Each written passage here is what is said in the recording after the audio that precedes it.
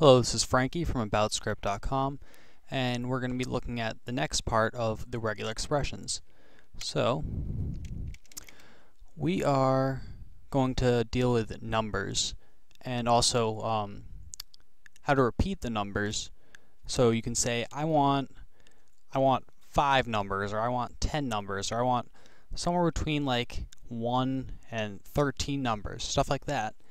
And um, more specifically, for this example, we're going to be looking at this health info breach file, and we're going to be looking for dates in it.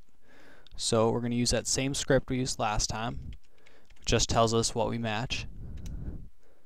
Oop. Need to tell it where to look. Okay. So now we're in this file, and in the last tutorial we kind of mentioned that um, to do a digit, you do a backslash and then a D, and if we do that, we get all these individual digits, which isn't what we want when we're trying to find a date.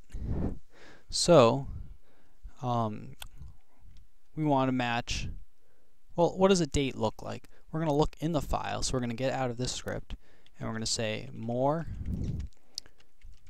healthinfobreach.csv.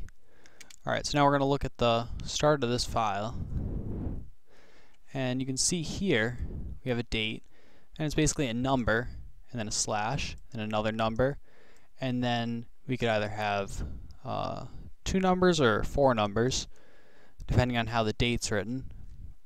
But it looks like this one is pretty consistently, um, pretty consistently one or two numbers, and then a slash, and then one or two numbers, and a slash, and then four numbers.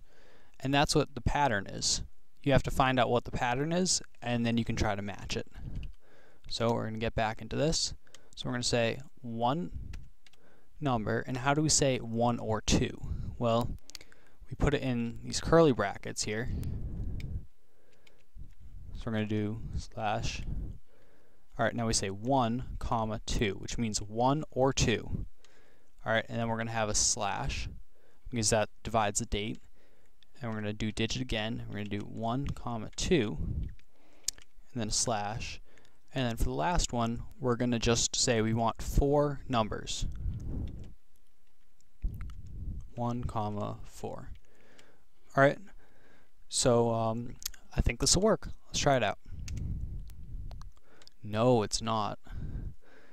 So we're going to go back to that last line that we just tried said we wanted a digit, one or two, and then a slash, and then one or one or two, and a slash, and then we want four more digits. Try again. And now it works. See, we have all these dates from this file, and if we were doing this in um, Python or any other scripting language, now we'd have access to every date in that file. And really, that wasn't that hard. You know, we just said exactly what we wanted, and it gave us exactly what we wanted.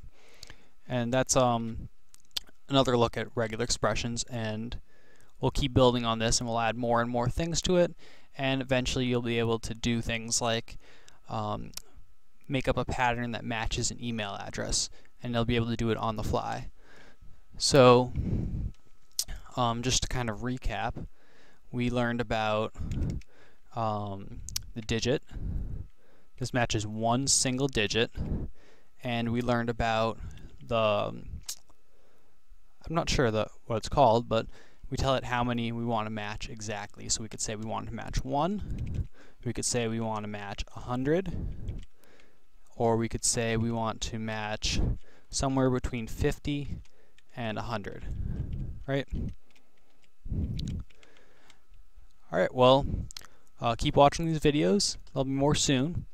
And uh, if you haven't watched the first one, please do. That's all. This is Frankie from AboutScript.com.